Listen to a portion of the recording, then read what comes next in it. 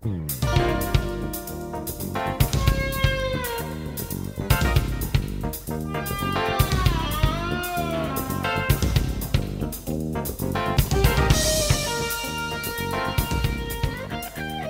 and welcome to the More Perfect Union, the podcast that offers real debate without the hate. But on this podcast, there may not be much debate at all because today it's just me, Kevin Kelton, speaking to you by myself in what I hope will be considered a special podcast. It's an interim podcast until next week when Greg Ward and I convene again to do our official return from our summer hiatus. But before then, there were some things I had on my chest and my mind that I wanted to get out into the public arena about some of the stuff that we've been following in the news these past few weeks while we've been off having fun during our summer. So, first of all, let me tell you that I had a great summer.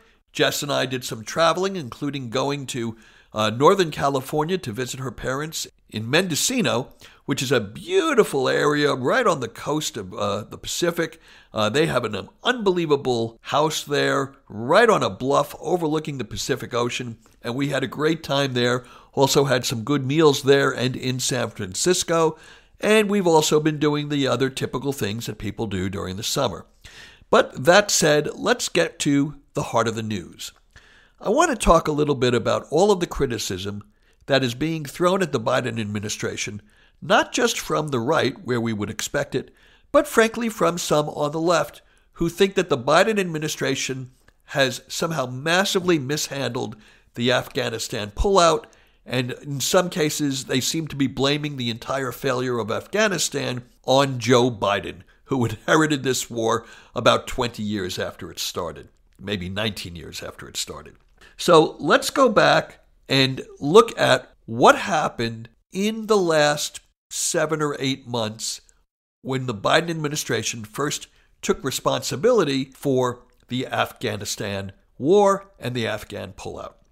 Now, as everyone knows, and I'm not telling you anything new, the Trump administration negotiated a deal directly with the Taliban, leaving out the Afghan government, to create a date certain for pullout of all American forces from Afghanistan, and that date was supposed to be at the end of March of 2021. Now, first of all, let's make something clear because I've seen a lot of people talking about this on Facebook and bloviating about it, and they don't know the reality. The deal was all American and allied forces, all coalition forces, were coming out of Afghanistan. There was to be no residual force the President of the United States, Donald Trump, signed that deal with the Taliban, and it therefore became a legal negotiated peace treaty. Call it what you want. That's a legal document that the United States was obligated to adhere to, otherwise, they would be breaking international law. Okay. Now we know that yes, when the Biden administration came into office, they actually did not meet the March deadline to pull out. They decided they needed more time to put together an adequate pullout plan. So, Biden goes to his generals, not just the Secretary of Defense, but to the Joint Chiefs of Staff and the commanders on the ground in Afghanistan and in theater and they also had the um, the State Department and diplomats on both sides of the world, hundreds, if not thousands, of people working on this plan to, as safely as possible, draw down all U.S. troops from Afghanistan. Now, the right paints a picture, or they have since the tragedy of the 13 Americans being killed in the suicide bombing. The right is painting this picture of an addle brained president waking up one day in August and saying, okay, time to get them out. Let's just pull them all out. I don't care how you do it. And not having any command of the situation, giving orders that defied logic, that he was somehow weak, that he was somehow only reactive. None of that is true. And if you're like me and you're being besieged with relatives, friends on Facebook, friends that you meet in the w- real world who are saying, oh, Biden blew it, the whole thing was botched, they had no plan. Believe me, they had a plan. And all of these armchair generals who are sitting in the comfort of their own homes, or in some cases sitting in the front seat of their cars making little videos saying how they would have done it differently and they would have done it better, they don't know what the F they're talking about. You know that's true. I know it's true. And they know it's true. Most of them have never even served a day in the military. So for people to start pretending that they knew how to get out of Afghanistan with zero loss of life or leaving zero Americans or zero allies of ours behind, it's just plain bullshit. And I don't care whether it's, it's coming from a U.S. Senator, a U.S. Congressman, somebody who was in the service before, someone who's still in the service. They have no idea what the realities were, or if they do, they're lying to you because it's just not the case that there was no plan or that the plan fell apart somehow. So let's go back and see what exactly did happen. Biden, first of all, he campaigned on the promise of pulling all troops out of Afghanistan. And as I'm sure you know, even when he was vice president, he was against all escalations of troop levels in Afghanistan. He specifically advised Obama against the 40,000 man or the 40,000 troop surge that Obama actually did on the advice of the generals. And quite frankly, I think it was one of the biggest mistakes of the Obama administration. But Biden advised strongly against that. He has, since sometime in 2003 or 2004, been consistent in his belief that while we were right to go in there to pursue Al Qaeda and to pursue Osama bin Laden, that there had been mission creep, that we had lost the focus of the mission, and that to stay there ongoing and needlessly, there was no reason for it.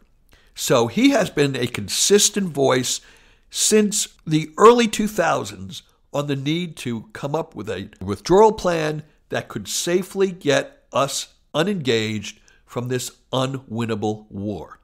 So, what happens? He says to his generals, to his Secretary of State, to his Secretary of Defense, and to all of his advisors, I want all American troops out by 9 11. I want to bring an end to this war by the anniversary, the 20 year anniversary of the 9 11 attacks. Now, you may say that was an arbitrary deadline. The generals actually said to him, and, and I read some articles, I can name the names, but a group of generals did say to him in April of, the, of 2021 that they felt that the United States should keep a contingency force of about 2,500 to 4,000 troops in Afghanistan as a counterinsurgents presence and to try to help the Afghani government maintain stability for as long as they can. Now, if you agreed with those generals that we should have continued the war and not drawn down, well, then you and I have an honest difference of opinion as to what the right move was for this president. But I think most people, I actually think probably over 80% of, of the American public, thinks that getting out of Afghanistan this year was the right call. So let's accept that premise. The generals said, as they always do to every president, we think we need to stay there longer. We think the mission isn't done. Let us just keep a minimal presence of 2,500 or 3,500 or 4,000 troops there, and we will help maintain the Afghanistan government uh, from collapsing to the Taliban. The president heard them out. It was debated not just by him and a couple of generals, but throughout the national security apparatus of the United States. And the judgment was made that no, the time had finally come to draw down. So he gives his generals and his Defense Department an order come up with a plan, let's approve that plan, and then let's execute that plan to get everyone out safely before 9 11. So the Defense Department comes up with a plan. Now, part of that plan was deciding how to utilize the limited forces that were in country to safely defend the U.S. Embassy for as long as we needed it, and to organize and execute a withdrawal that not only got our troops out, but got out American citizens who wanted to leave and those Afghanis who were helpful to us during the 20 year war and might be in jeopardy, and obviously are in jeopardy, if they stayed in the country and the Taliban were to identify them. So, when you're doing something like that, you have to put together a plan that weighs the manpower you have, the resources you have, the objective that you want, and the best way to get there. Part of that was deciding what to defend and what not to defend. Now, you've probably heard a lot of discussion about Bagram Air Force Base, so you'll hear a lot of conservatives who are lambasting the Biden administration for abandoning Bagram Air Force Base and leaving all this equipment behind. They're both, if not lies, they're misstatements of what actually happened.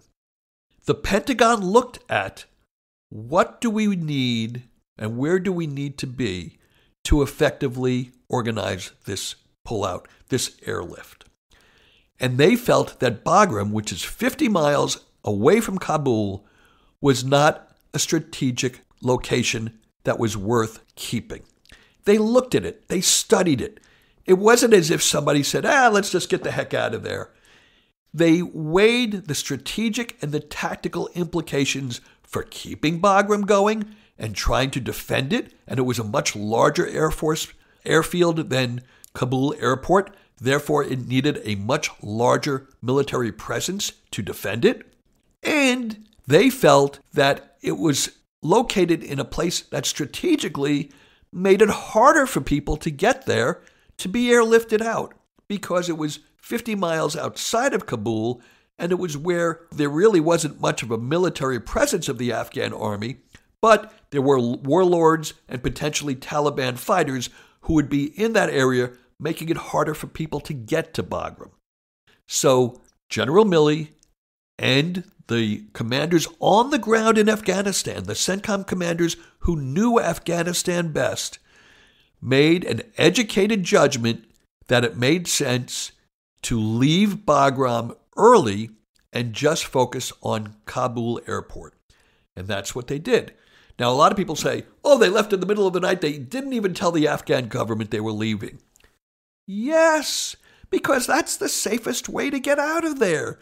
You don't want to tip people off that you're leaving a strategic military location in broad daylight. They'll shoot the planes out of the sky. These people have surface to air missiles, shoulder held surface to air missiles. They also have rifles and M16s and other high powered weaponry. You tell them that you're putting all of your men on a plane and getting out of there, they'll start shooting at them. So, yes, you don't announce a date certain for something like that. You do it on your timetable, secretly, and quite often in the dark of night so as to avoid the types of problems that we ended up having in Kabul. Now, there's some talk about, well, they left a lot of equipment on the ground in, in at uh, Bagram Air Force Base. Actually, they either made that, that equipment inoperable or actively destroyed it before leaving. So that's another lie that you've been told by the critics of this administration. And as far as us leaving billions and billions of dollars behind for the Taliban. That is not what happened. The United States spent 20 years trying to build up the Afghan military so it could stand on its own. That was the goal of the Bush administration. That was the goal of the Obama administration. That was the goal of the Trump administration. Almost 20 years we've been building up this military. And it doesn't just mean soldiers on the ground, it means air support. It means equipment. It means tanks. It means artillery. And yes, we gave all of those things to the Afghan government so they could have a military to defend the country. We didn't leave it for the Taliban it was given, sometimes paid for, sometimes as not a gift, but given to our allies in Afghanistan so they could defend themselves, just as we do with dozens and dozens of countries across Europe and in South America. The problem was that the Afghan army folded like a cheap piece of aluminum foil pretty much as soon as they knew we were uh, we were pulling out of the country. That was unanticipated. Now, I'm not going to get into that just yet. We'll talk about whether we should have anticipated uh, how quickly they were going to fall later in this conversation. But I just want to make the focus of my comment here very clear. We did not abandon military equipment to be left for the Taliban. We left military equipment for the Afghans, and the Afghans lost that in battle or just walked away from it. And that's how it fell into the hands of the Taliban. Now, you might think that that's a semantic difference. Well, that's your opinion. In my mind, that's a very big difference than saying we just left equipment for the Taliban. It was supposed to be left there to maintain the Afghan government. The Afghan government screwed up. Okay. Now let's talk again about what happened in the final days. So we drew down our presence to about 2,500 men, as, as I understand it, and began planning. And this planning started in April, not just in early August, as some people say, oh, all of a sudden they decided they had to get out of there. No, the planning for the drawdown started in April. And as early as mid May, the United States uh, State Department was sending messages, public messages, to all Americans in Afghanistan that our presence in Afghanistan was coming to an end and these people should make plans to get out as soon as possible. So I'm going to jump ahead now to this idea that, well, we left 100 or 200 Americans behind. It's not like these people were not given any notice that this was coming. These were all Americans who knew they should have known actually when the Trump administration negotiated the deal with the Taliban to leave, but certainly had to know in May when the State Department was publicly telling them it's time for you to make plans now to get out of the country sooner rather than later, that they should make some plans and get the hell out of there, or at least be prepared to evacuate when the time came. Listen, I'm not blaming those people for being left there but I'm also not blaming the Biden administration because these people did not take the adequate planning and precautions to be ready to evacuate when the time came or have a plan to get to Kabul airport. Okay, so they start to plan an organized pullout that was going to use Kabul airport as the chosen and designated location for the airlift. They knew it was going to be many tens of thousands, as it turned out to be over 120,000 people were going to need to be airlifted out of Afghanistan. And they planned it. So anyone that tells you they didn't have a plan doesn't know what they're talking about or is, again, just bullshitting you. They had a plan, they began to put it into motion. The problem is the United States government and all of the intelligence that the CIA, the NSA, all of the intelligence departments put together led to the conclusion that it was likely that the Afghan army could hold on for weeks or months or possibly years before either a coalition government was formed with the Taliban or the Afghan army was going to fall. No one anticipated that the Afghan army was going to be able to hold that country forever. That we knew. What we didn't know was just how badly their generals would screw up, abandon their posts. Uh, we didn't expect Ghani, the president, to hightail it out of the country in the middle of the night. A lot of these things, it just happened. It just happened. I read one story that said that Ghani had planned to stay, and then his people came and said, Hey, we've got some intelligence that the Taliban is coming. They're going to behead you. And, you know, and rip your, your, your guts out in the street for public consumption, just like they've done to previous presidents when they've taken over. Uh, and we don't want that for you. You better get on a plane now And he did. He listened to his advisors and he hightailed it. Anyways, when word of that got out, the generals, you know, they got weak kneed and they probably didn't command their their platoons and their troops as well as could be expected, and the entire military collapsed. Or these people made the judgment that if America's leaving and if our president has already left the country, I'm not going to do hand to hand battle or gun to gun battle with other Muslims. I'm just going to lay down my gun and go home. I, I don't need this if there's no government to protect. Regardless of why they did it, it happened. It wasn't anticipated. The intelligence, and again, you could say it was an intelligence failure. That's fair. You can't point that or you can't blame that on Joe Biden. He's not the head of the CIA. Yes, the head of the CIA reports to him, but he doesn't control the entire intel apparatus of the United States. He has to rely on their competence. And in this case, they either were mistaken or they were incompetent. They did not anticipate the fall as quickly as it happened of the Afghan army. So, once we got there, and there was no Afghan army, and the Taliban was pretty much rolling through city after city, well, then you had to change the plans and, and pick the pace up a little bit. And that's what they did. So, you now have tens of thousands of people convening in and around Kabul Air Base, and they want out of the country.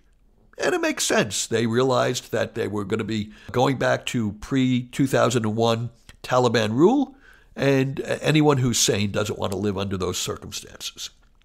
So the American military did the best it could to process those people, to get the ones that should be on planes into the airport, and to keep those who either didn't belong in the airlift or frankly might have been hostile to the United States and our allies from getting on our planes and coming into our countries.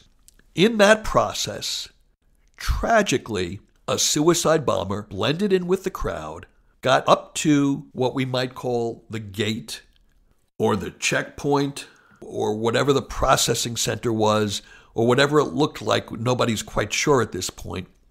But they got up to where a group, a large contingent of U.S. military, was checking the papers and processing people that wanted into the airport, and he blew himself up.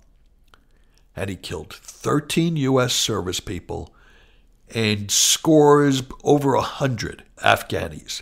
And it's a horrible, horrible tragedy of war. But to say that that is blood on Joe Biden's hands is ridiculous. It's a war zone. There have been hundreds of explosions in Afghanistan, if not thousands, since the war began. IEDs, suicide bombers, planned attacks. You've read about them over the course of the, of the war, if not monthly, sometimes weekly, but several times a year.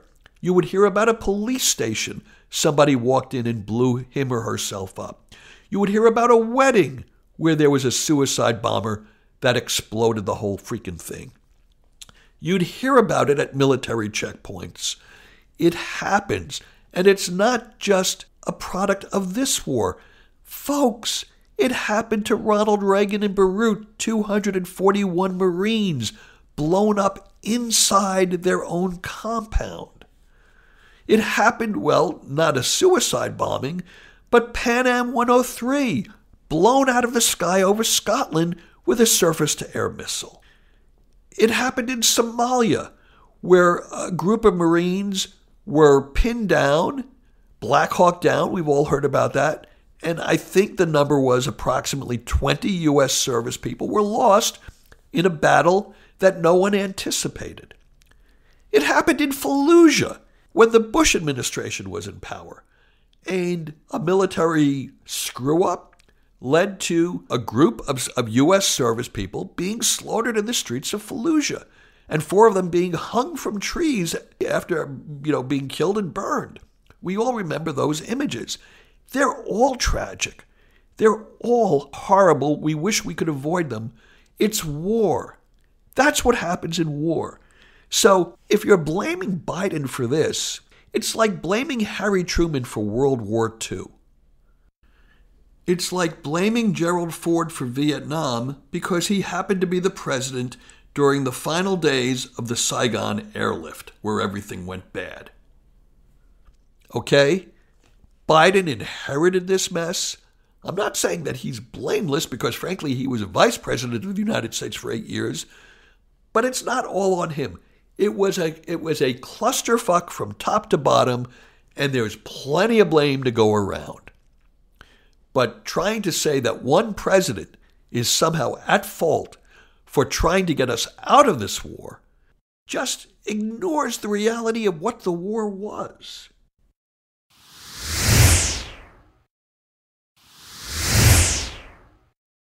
You know, I, I want to backtrack. I, I, don't want to blame Donald Trump for what went down. Donald Trump uh, has enough things in history to take full credit and blame for that I don't need to add more onto his list. But I want to point out that when he was president, there was an attack on U.S. service troops in Syria. And he responded by assassinating Iranian General Soleimani. And the right thought it was the greatest thing. They thought it was even better than when we got bin Laden. Uh, you know, he had found this this general who was, uh, you know, believed to be behind many, many organized terrorist attacks against the United States and our interests, and he had blown him out of the streets of Iran. Fine. Well, once we were attacked and the, and the servicemen were blown up by the suicide bomber in Kabul, it took less than 48 hours for the Biden administration and the CIA and the other intelligence agencies that we had there and the other intelligence assets that we had there to identify who the bombers were, identify who had planned it, and kill him. Less than 48 hours it took them to do that. And then, within a day after that, they identified two more bombers who had a, a huge amount of explosives in their car and were on their way to attempt a second attack on Kabul airport, and we blew them to heaven. Now, unfortunately, because we had to do it on the streets of uh, Afghanistan, and because they happened to be in traffic, and because their car happened to have a significant amount of munitions in it, because they were on their way to blow up U.S. troops, when that car blew up thanks to a drone airstrike, a car nearby with 10 people on board, including several children, was also blown up and there was a loss of life there, civilian casualties. Again, an unfortunate product of war. But which would you have rather had? Those unfortunate casualties or a second suicide bombing back at Kabul airport a day or two later? Let's be real, folks. You cannot stop a suicide bombing. I mean, in this case, yes, we had the intelligence and we were able to actually intercept and kill some potential bombers before they reached their target. But suicide bombings are the hardest thing in the world to defend against. And keeping Bagram Air Force Base was not going to stop a suicide bomber from attacking Kabul Air Force Base 50 miles away. So again, people who made the argument we should have held on to Bagram, it had nothing to do with what happened we would have had to have, defended two airports instead of one. We would have had more exposed targets, not less. We wouldn't have been safer. We would have been less safe if we had held on to Bagram. That's why the generals said we only need one airfield to get people out. Now, finally, I want to address this idea that, well, there were still Americans in country. The Biden administration should have extended the deadline past August 31st. I hear that a lot, and I hear it from people in the news that, frankly, I used to respect a lot more until they put forth this theory. Here's the problem with that. Again, they're not thinking like military people, and they're not taking in the realities on the ground. Here are the realities on the ground as they were in the days prior to August 31st. There had been talk in the press about the possibility of extending. Famously, George Stephanopoulos asked President Biden directly in an ABC News interview about that possibility. And the president would not say yes, he would not say no. Once it got out, it was floating in the zeitgeist that the United States might extend past August 31st. The Taliban immediately went on record saying, no, we're not for that. That was not the agreement that we came to with the United States. We will not stand for that. We want all U.S. and allied forces out of our country on the date that they said they would leave. Now, you might say, well, who are they to tell us what to do? We're the United States of America. They're just the tiddly Taliban. And if we wanted to stay longer, screw them. Now, let's look at that. Here's the problem to get the last of your forces out of country, to get the last of your forces out of Kabul airport, you need some kind of ground security to create a perimeter so that those planes are not shot out of the sky. That ground security was being provided by the Taliban. They created a perimeter around the airport in the final days so that we could get the last flights out. Because at a certain point, you listen, you've got you've got troops that are guarding the airport, and you get the last of your ground troops onto a C 130 or a C 19, and you get them in the air. Then you have to pull those troops into the airport, and you have to start getting them out. Until you get down to the last plane load, let's say it's about 200, and there's nobody else on the perimeter other than the Taliban. Without them, those last planes going out, it would have been a turkey shoot anyone with a surface to air missile, with a shoulder held surface to air missile weapon, anyone with, with machine guns could have shot those planes out of the sky. And wouldn't that have been the ultimate tragedy and tragic way to end the war? With a C 130 being shot out of the sky as 200 servicemen perished in a fiery crash on the last day of the war. Wouldn't that have been the ultimate defeat in Afghanistan? Biden didn't want that. Nobody wants that. You didn't want that. Well, to avoid that, you needed the help of the Taliban. Like it or not, you cannot pull out of a country in a war zone with several enemy factions without some security around the airport. Now you'll say, well, okay, why couldn't they have done that in the first week of September, the second week of September? Because the Taliban isn't stupid. They, through back channels, and I will guarantee you this. Have I read it? Have I seen it someplace? No. But I will guarantee you that at some point it will come out that the Taliban said if you still have people in country after midnight on September 1st, you're on your own. We're not providing security around the airport. And frankly, we can't promise that one of our, you know, warlords won't take his own pot shot because you've got a country that now is going to be factionalized. The Taliban is not just one organization. It's numerous little groups of warlords that operate independently of each other with some, you know, agreement about philosophy of Islam and the philosophy of governing the country. But one of these warlords might have thought, you know, the way for me to really establish myself as a kingpin here is to be the guy that takes down the, the last C 130 of the United States going out of country. And there's no way to protect against that unless you have some organized security force on the ground for those last planes to leave. So, like I said, without that, if we had stayed another week, yes, maybe we would have gotten another 50 or 100 or 200 U.S. citizens out of the country.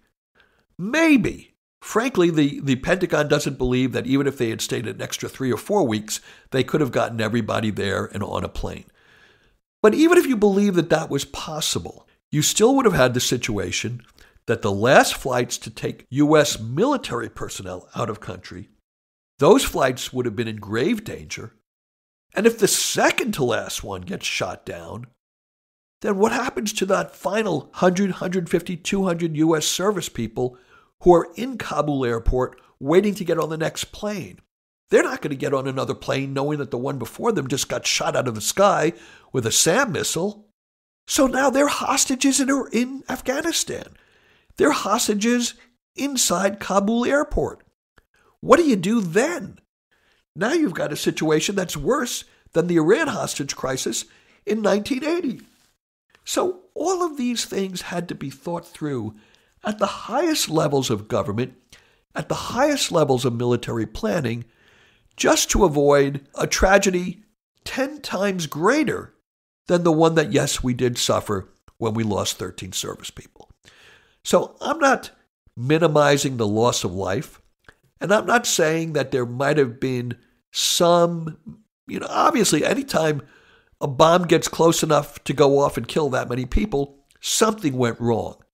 But do you blame that on the commander in chief? You know, in Israel, there have been in history, as you know, hundreds and hundreds of suicide bombings. A bus gets blown up, a cafe gets blown up, a military outpost gets blown up. In Israel, they don't immediately turn on the prime minister. They blame the terrorists. They don't blame the prime minister for a terrorist suicide attack because everybody knows you can't defend against them. Now, yes, if you have specific, detailed intelligence ahead of time, like we had before 9 11, then a case can be made that the commanders screwed up. But as of yet, to my knowledge, there is no record of there having been intel ahead of time of a specific credible threat to that location at that airport at that day that could have been deterred. So, with that in mind, I just want to say again there's plenty of blame to go around from presidents to generals to diplomats through four different administrations. And frankly, I have blame to go back into the George H.W. Bush administration because he cozied up to the Taliban, and to the Reagan administration, who, as everybody should know, created the Taliban when we built up the Mujahideen. So there's plenty of blame historically to go around for what happened in Afghanistan and what a tragic shitload of events it turned out to be for the United States. But to try to focus our ire on one president because he was the one who had the balls to actually say it's time to end this thing is, in my opinion, wildly unfair and frankly at odds with the facts of history. Now, I've been going on for a long time. I really thought this was going to be a very short podcast, and I've rambled on almost as long as I do with my friends. And if you're listening, Greg and Ward, I can't wait to, to talk about a lot of this with you guys next week. But I want to spend the last couple of minutes talking about the uh, latest travesty in the news, which is that the Texas abortion ban has been allowed to stay in effect in Texas because the Supreme Court voted 5 to 4 not to stay the law, which means to put the law on hold until they adjudicate it. A lot of my friends are sending me messages now, uh, you know, what do you think of your beloved Texas now? Well, first of all, of course, look, like anybody who believes in reproductive rights, I'm horrified at the, the way things are working out. But to blame Texas is, again, I think, a misfocus of whatever anger you want to project onto this very unfortunate historic turn of events. Because the Texas law, as dumb as it is, and I can't imagine a law that's dumber than giving regular citizens standing to sue other citizens for somehow participating in or abetting an abortion. Well, let's all stipulate that that's just insane, okay? And the Texas legislature came up with it, and the Texas governor signed it. That's all insane. But there are numerous, numerous test cases. I don't know whether it's 12 or 15 or 18, but numerous states have created numerous laws to be test cases that can get to the Supreme Court so that we can put Roe versus Wade on the stand. Everybody knows that. And everybody knows that with this court, thanks to the three justices appointed by Donald Trump, that Roe doesn't stand a chance.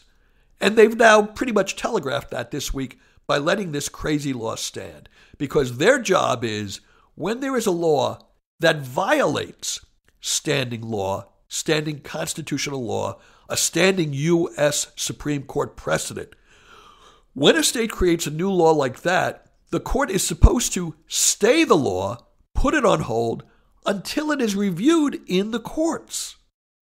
That's their job.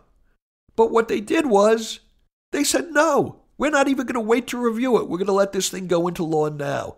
That tells you that five justices are ready to overturn Roe today before it's even been argued before them. So, listen, God love you. If you live in California and you hate everything between New York and California, or you know, if you're just one of those people that thinks that anybody that lives in the South is just a cowboy and a redneck and a kook, fine. I moved here. I've met wonderful people here, some who share my political ideology, some who don't share my political ideology. And yes, Texans elected Greg Abbott and they elected the Republican legislature. And I'm not happy with either of them. But to put this all on Texas is missing the greater point. Roe versus Wade was destined to die the day that Ruth Bader Ginsburg died. You knew it then, you know it now. We all knew it. And as soon as we knew that Amy Coney Barrett was his appointee to the Supreme Court, we knew that Roe was dead in the water. If you didn't, you were naive. You were fooling yourself. And frankly, if you want to blame someone for the fact that within a year or two, abortion may not be legal any place in the United States, or it may be left to the states to cobble together their own abortion laws, which will divide the country even further into those that allow abortions and those that effectively don't. And boy, will that create more of a divide in this country than we already have. But if you want to blame someone for that, blame the liberal Democrats, or for that matter, any Democrat who knew who Donald Trump was in his soul before the 2016 election and made an evaluation that they were either going to not vote for Hillary Clinton, not vote at all, or vote for Jill Stein as some kind of a protest vote. And there were over a million, there were, I think, 1.7 million votes for Jill Stein. Now, not all of them were in swing states, but there were enough in the swing states to tip that election. And when you add on people that simply didn't vote because they just didn't like Hillary and didn't want to vote for her, you people were told. I told you. The media told you. Hillary Clinton told you. Bernie Sanders told you. Everyone told you that any vote that didn't go to Hillary Clinton was a vote for Donald Trump and was a vote for a 5 4 or a 6 3 Supreme Court. We told you, you still voted for Jill Stein, or you still stayed home, or maybe you, you held your nose and you voted for Hillary Clinton, but in the months leading up to the election, you barraged your Facebook and your Twitter pages with anti Hillary crap that got into the zeitgeist that led other people to withhold their vote from her. Those are the people, and I'll speak to you directly if you're one of them. You are the person who is responsible for losing Roe versus Wade. So again, we want to blame Joe Biden. You want to blame Donald Trump. You want to blame Texans. Have at it. History will judge you. The people that helped elect Donald Trump by not voting for Hillary Clinton in Michigan, in Wisconsin, and in Pennsylvania, and frankly, every place else, because I don't buy that bullshit of, well, I'm in a deep blue state, my vote doesn't really make a difference. That's a bullshit excuse. If you lived in California and New York and you still voted for Jill Stein or you still didn't go to the polls, you still bear responsibility. We're losing Roe versus Wade not because of Republicans. We're losing Roe versus Wade because of Democrats. Democrats are their own worst enemy. And if you're listening to this podcast and you didn't vote for Hillary Clinton, or you spent months trying to tear her down before ultimately voting for her. It's on you because you created the United States that elected Donald Trump and gave him the opportunity to appoint three far right, radically conservative justices to the Supreme Court. You knew it was a possibility, and you did it anyways. Listen, with that, I want to thank you for listening to what is a, an unusually long one man monologue for the More Perfect Union.